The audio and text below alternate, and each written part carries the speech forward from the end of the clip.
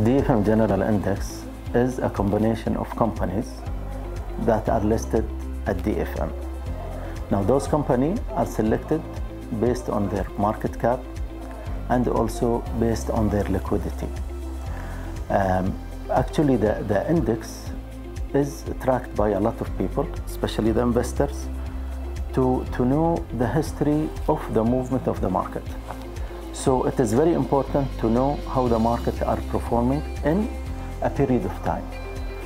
Um, and it is a very crucial information for them to make their decision to come and trade in the market.